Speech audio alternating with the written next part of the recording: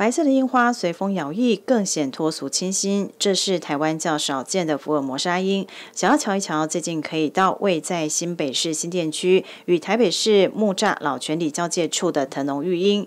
这里占地宽广，尤其是栽种的樱花品种相当多。目前正在开花的包括了山樱花、海樱、福尔摩沙樱等等，另外还有八重樱。从一月份到二月份都陆续绽放中，不少民众也趁着年后回暖的好天气。前来赏花踏青，这樱花很很棒啊！那个而且人人潮没有那么多，那来到这地方就是很很放松啊，不会人挤人。民众表示，腾龙育樱因为腹地大，比较不会有人潮拥挤的情况，可以较悠闲的赏花。而且山坡地形，樱花栽种的较有层次，粉红、桃红与白色樱花交织绽放，景色有着另一种风情。所以大家不妨趁着平日人潮较少的时候，来到这里感受早春的气息。